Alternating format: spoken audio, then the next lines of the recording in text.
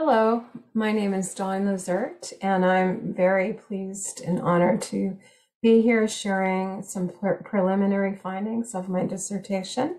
Thank you to the World Down Syndrome uh, Conference in Dubai and all of the volunteers behind the scenes for uh, providing this forum. The title of my dissertation is Amplifying Voices Post Secondary Education Experiences of Students with Down Syndrome. Again, these are preliminary research findings.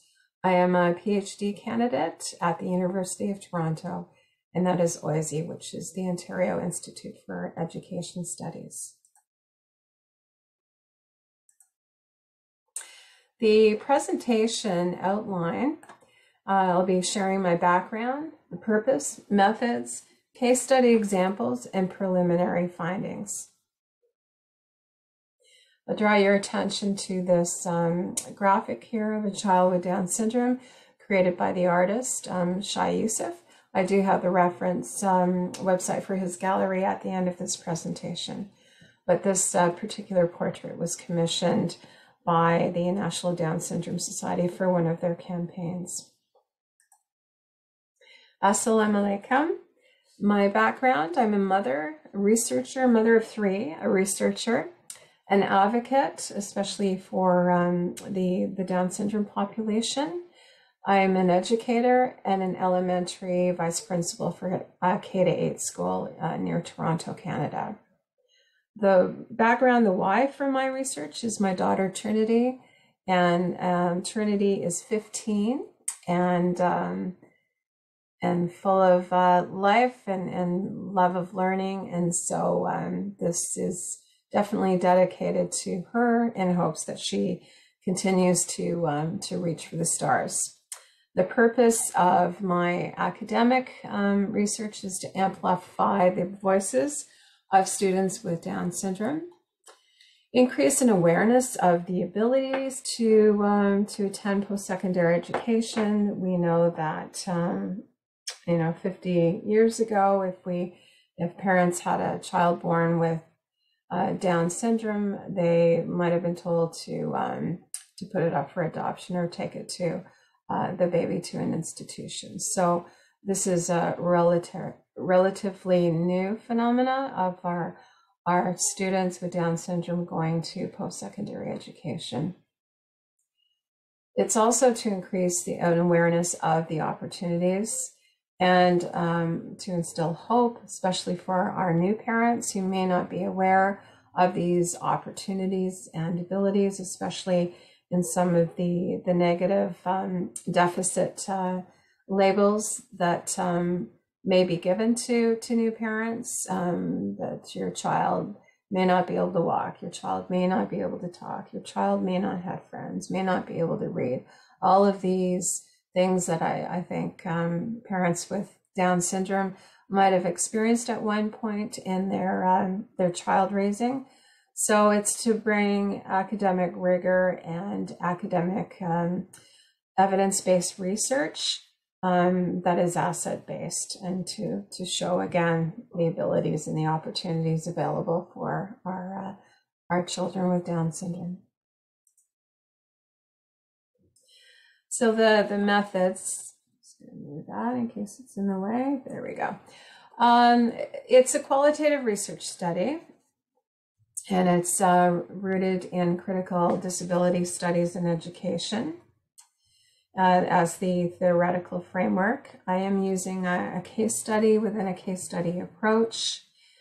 And um, at the time of this recording, which is October the 22nd, I had conducted 24 interviews, just over half of my sample size, and um, that it's been overwhelming the response. It's been fantastic. I've uh, had so many people um, asking to be part of the study, and um, they are they are lengthy interviews. Uh, the parents, well, are are anywhere from 45 minutes to over an hour, depending on the the discussion. They're one to one using uh, video conferencing, and um, the when I'm interviewing students with Down syndrome, it's around 30 uh, minutes um, with them. And, and it's been wonderful with the digital literacy that uh, so many people know how to use um, the video conferencing platform. And, and in my case, I used Google Meet. My research question uh, questions is posted there. Um, what are the supports, the barriers, and perceived benefits of a post secondary education experience for students with Down syndrome? And uh, participants, um, primarily it's students with Down syndrome who are attending or have attended a post secondary um, education institution. It doesn't have to be college or university, it could be vocational but um, my participants so far have been college or university, and uh, they're from the US and Canada. I've also interviewed parents of students with Down syndrome who are attending or have attended a post secondary institution. And um, these are not necessarily parents um, of students I've interviewed. Um, some students have um, just emailed me and said, I want to um, be part of the study and I don't interview their parents. So, and it could be vice versa too. I'm also seeking to, um, it's a smaller sample size, but interview um, other students or parents of adult children who did not attend or who attempted to get in, but the application process uh, was a barrier to them. So, um, getting some insight into that um, that experience. A smaller sample size as well is um, interviewing agencies and advocates who have um, a stake in and um, helping um, students attend a, a post-secondary institution or helping them um, afterwards um, in, in, terms of uh, job placement. I'm doing a, a, cross analysis of all of the post-secondary institutions that these students have gone to, but that's a a website analysis. I'm, I'm not interviewing the um, post secondary institutions. Um, so I wanted to, uh, the best part of, um, of the research for me is, is listening to the, the personal stories and, and having that privilege of um, people being really honest with me and um, sharing uh, just their their world from students to to uh, parents. So uh, I've got a couple of um, case study examples I wanted to share with you. So these two, male and female, female on the left, male on the right. Um, so the female on the, the left, both of these people attended um, what we, we might say as mainstream university. They were not in an inclusive um, uh, education program. Um, they attended with neurotypical learners and attended all of uh, the academic classes that neurotypical learners attended to achieve um, a degree at the end. So the the female on the left, um, she was very tech savvy. She you talk about the independence that a, a, this kind of experience gives you, and she was using DoorDash, which is um, a food to door um, delivery program, Uber, which um, is uh, a ride program like taxis for those that aren't familiar. She lived on campus for three years and is now on campus uh, campus apartment. So she cooks her own meals and grocery shops. And one of the neat things is that she orchestrated the campus apartment all on her own. She worked um, uh, on campus in, in a housing service, and she knew when those campus apartments were coming up she got the application, she applied on time. And so a, a true testament to her um, individualness, her independence, and uh, being responsible. She's super organized, uses Google Calendar, loves her timetables, studies the all the course uh, curriculum coming up, and she's had paid jobs throughout university. Just a, a delight to, to listen to her story. Um, on the right is a male who graduated um, with a high school diploma. He was not in a self contained class in elementary or high school. He also achieved, um, uh, was uh, awarded for um, his high GPA in high school. He didn't have an IEP, which is an individual education plan. He is now earning a university degree with a double major in theology and philosophy and a minor in music. He lives on campus. He reads, studies, and writes in Latin um, for part of his course, and he navigates the airport on his own when he goes to visit his parents. Two other examples of students um, I've uh, been privileged to to meet and, and listen to. Um, these two uh, took a two-year inclusive community college program. So that was a, a program specific, specifically oriented to students with intellectual disability. So um, not just Down syndrome, but other um, ID such as um, autism um, or a global delay. So uh, the person on the right, a female, uh, I've included uh, more quotes on these, but just loved uh, uh, summarizing how they felt. So, um, best experience ever. She lived on campus. I learned to be more like an adult. College helped me with my dreams to work in hospitality. Her advice to other students join clubs, make new friends, and take one day at a time. And she went on to say, you know, don't just stay in your dorm at night, get out and, and, and do all of the social events. The male on the right um, attended a community college program as well. He said it was so much fun. The people are amazing. I was nervous at first. I met a buddy and he helped me. I learned to be responsible and independent. I took the bus um, on my own to a job until the pandemic hit. So the thing that I draw your attention to is with these these four case studies, you could read these and it doesn't say, you know, a big neon sign Down syndrome wrote this. This could be any individual that attended college or university. Again, some of my pre preliminary findings um, for post-secondary students with Down syndrome. So some of the trends and patterns that um, I've been um, uh, collating um, from my interviews so far. So the support, so receiving note takers, so people that went to class and usually volunteer students, or they had some sort of stipend um, provided, especially um, our the athletic um, scholarship uh, students would take notes for the students. Um, dorm supervisors, they said, were tremendous support. So the resident um, supervisors checking and making sure everything's fine. And mentors. Um, most of the students I talked to always met with someone during the week to check in to say how the classes were going. Some of the barriers and obstacles. Um, one quote, some classes are difficult. And I did hear this from um, the students I interviewed that were in a mainstream uh, education program. Um, a lot in COVID, uh, COVID impacting extracurricular social events um, were important, but that um, all, all of those clubs were shut down due to the pandemic.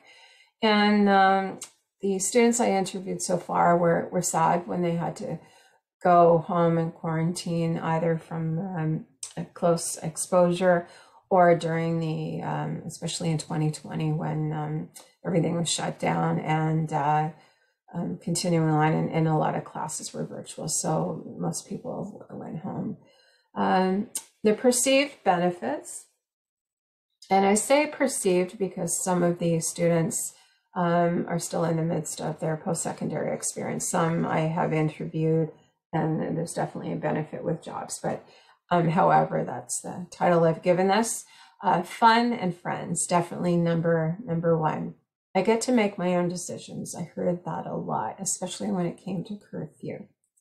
I lost weight because I was eating good things and exercising a lot. After I graduate, I have I have to get a job that clicks with me.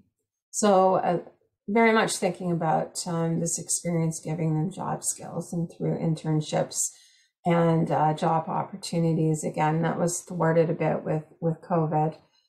Feeling independent, I am proud of myself. So many people uh, said that. I solved a problem in my dorm room. I, I love this story.